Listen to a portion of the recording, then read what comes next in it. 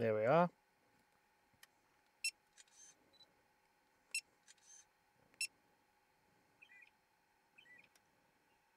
So what do we have? Oh, they're on the run.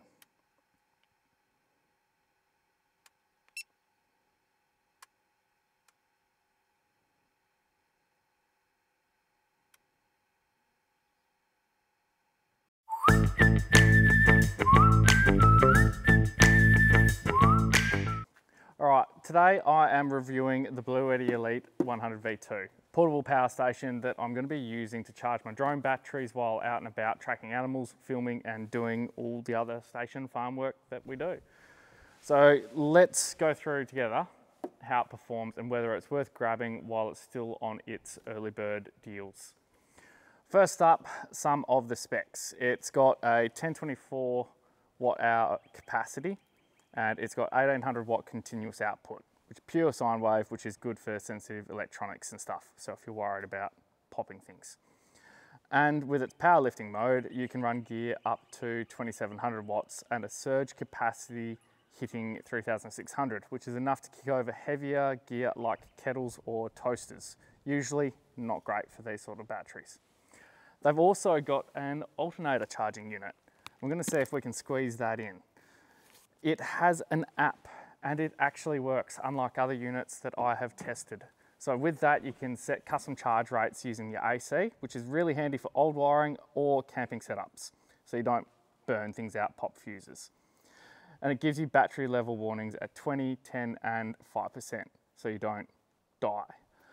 There's also a full charge reminder, so you're not wasting battery cycles and it's got a power off memory mode. So if the power cuts, it'll come back on and keep powering your gear. It's good for fridges, UPS work, or monitoring stuff. So that means that when you've told it to be on and then you've run your battery out, but then it charges back up again, say you've got your solar panels hooked up to it, it will turn back on your AC or your DC, whichever you were using last, which is really good for if it's somewhere out yonder powering a water point, a camera site, something that you just had to get going at the time and this is the first thing you've got. It's there, it's handy. You don't need to train anyone up on how to use it, configure it, program it. It's just out.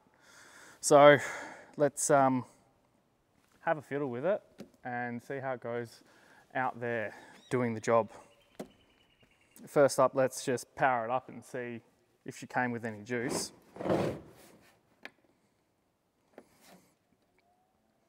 She's at 31%, not so bad, so we're good.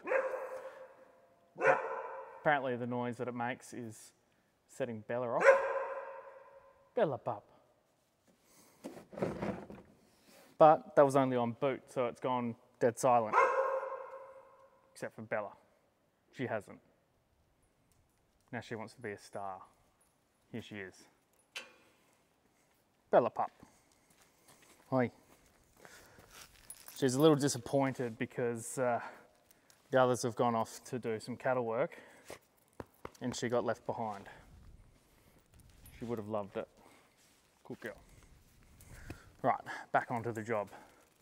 Now it did come with all of its cables, so it's got a 240 volt plug and it came with a solar lead. Now this thing can take a thousand watts of solar, which is pretty wicked.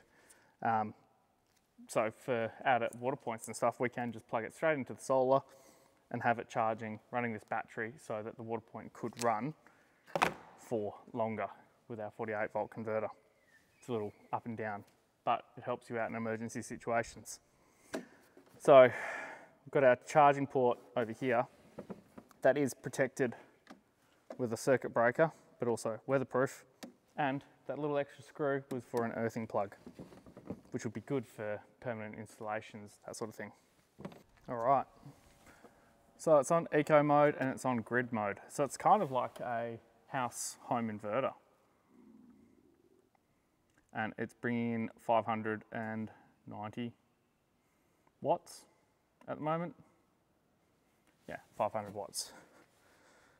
So let's see how well this app connects. And it's um, really pleasant that it's not beeping at me from the get-go.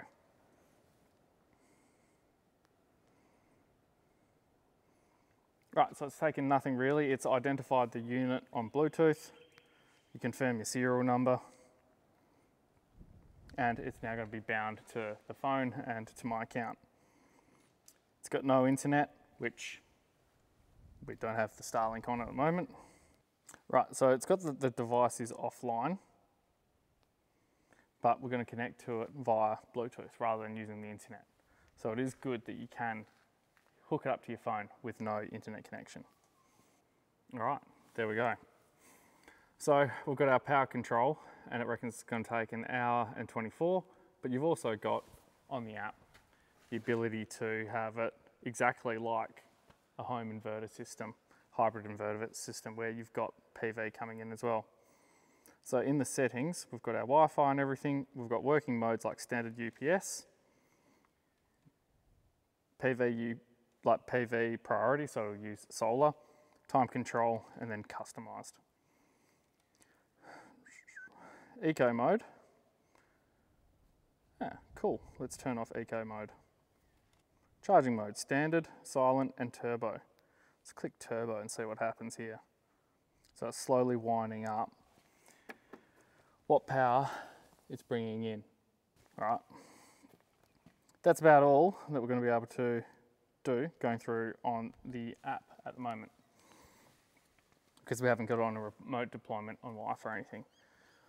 So let's grab our 500 odd watt charger for our drone batteries.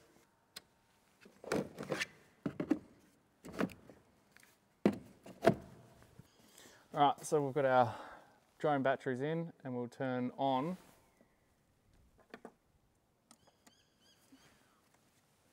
the charger and see what we've got happening. All right, so it's set to charging one set of the batteries. and what's happened is our input load has gone up and our output is sitting at or climbing as the batteries start charging. So the unit itself will take uh, about 1.2 hours now to charge up. But if we're out in the paddock, it'd be interesting to see how it's going just running off its own capacity. But also we've got the car DC-DC charger. So let's whip that open, have a look at it and see if that's going to be usable for this job.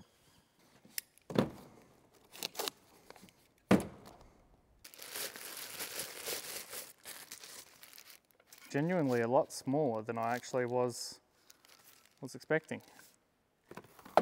Oh, hello. We've got a little DIN rail, Allen keys and some screws. It's got some tech heads for mounting it up. It has got a actual breaker on it. So that is pretty neat. And then for our output, it's got the little PV MC4 plugs. Neat. Doesn't look very weatherproof, so it's gonna have to be inside the car. All right, for the past little while, I've been a bit busy crawling around under my ute and running the lines to put this DC-DC charger in behind the seat. So that's um, all good and we've got our outputs here and they come out where that little vent is. This is where a sound system usually would be installed on the premium package. We've got our breaker. Let's fire the car up. Now I could go as far as putting my Starlink line in through where I went as well in the grommet, but I want to test this system out first and maybe I'll work out some different wiring routes. Awesome, so that's functioning correctly. It's only charging when the engine's on. It's got one of those little voltage detections, so when the alt is clicked in, it will engage. So I can put everything back together and get out onto the job. But meanwhile, the battery is 100% charged now and so are my drone batteries. So let's pack this gear up and get going. Okay, so the drone has just come back, or I've landed the drone over here, and I've just swapped out these batteries. So I'm going to put some of the shots in here of what, what I picked up with it, which is pretty impressive. But this gives us a good opportunity to get out the battery charger and with a fully charged Bluetti there, test out its uh, abilities to charge these batteries. So we're just going to plug it in. Right. So in the time it takes me for this next flight, these batteries should be fully charged. The Bluetti is not charging at the moment because the car's not on. And we'll see how much battery it uses from that little box. But in the meantime, time to throw the drone back up and continue its mission.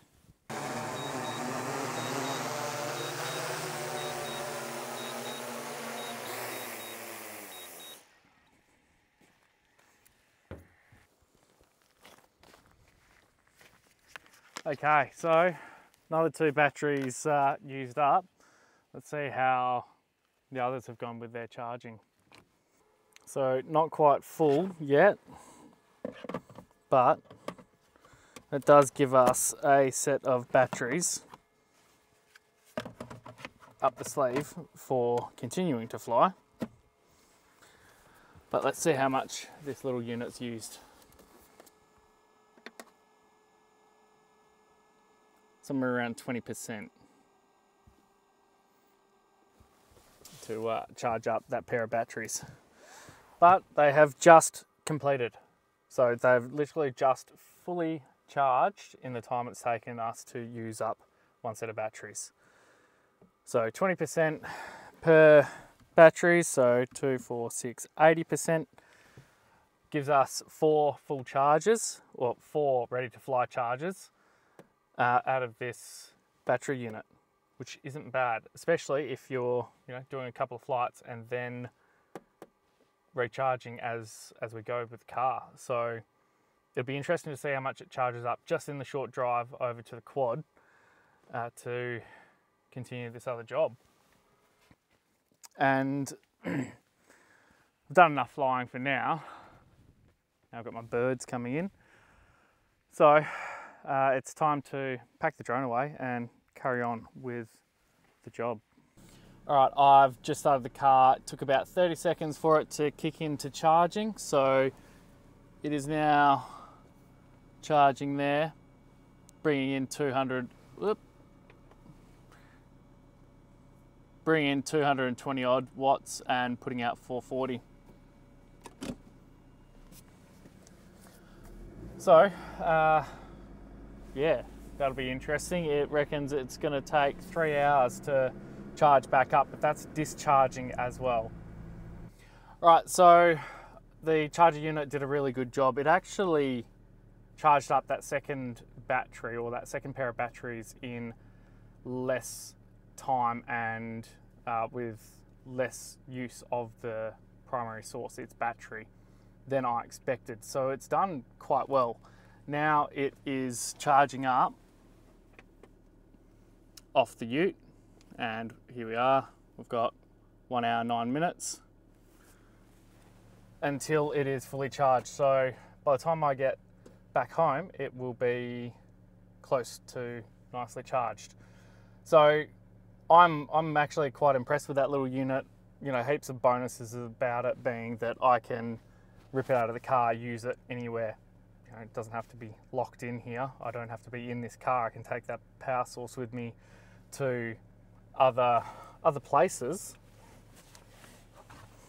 Uh, small enough that I can throw it in the plane, uh, carry it on a motorbike, whatever. It's a little bit heavy to sort of lump around with you if you're out camping, but then again, it it's only 11 kilos, so that's not a huge amount of weight for its capacity. Uh, little downside, if you'd call it that, uh, it doesn't have like a little quick, like a magnetic contactless charger on the top of it, which some of these units do have. um, that's not really a big negative for me. It's got high output USB C ones, so I would not run my microphone and all that flat. And I'd be able to keep all my camera gear charged as well as the drone. So, yeah, I um, I'm liking it. It's going to be pretty cool. I like this ability to charge it out of the car nice and fast, and it's usable. Like it, it's quite usable. Um, so yeah, they have given that to me to test out, try out, and keep it, but they haven't paid me to do any promotional stuff.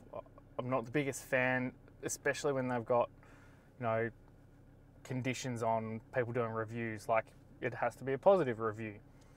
Um, yeah, they're, they're letting me just crack on with it however I, I see fit. So um, let me know in the comments what you'd like to see me try and run with it. Um, I don't actually want to blow it up though, because uh, it's quite useful. But they are on special at the moment. They're early bird special for uh, 999 Australian dollars, and there's a code in the description if you want to have a go at it and reckon it would be a good use case for yourself. So, yeah, thanks for seeing me fiddle around with that thing and um, those cheeky little Easter eggs of what's to come in uh, upcoming episodes about what it is I'm sorting out with this equipment. And at that, I'll leave you to it, and I hope that you've gained something from it. So, I'll see you around and let us know what you want me to power up. Right, cheers, guys. That's the Blue Yeti or Blue Eddy um, 100 V2. Doing good. Goes like a rocket.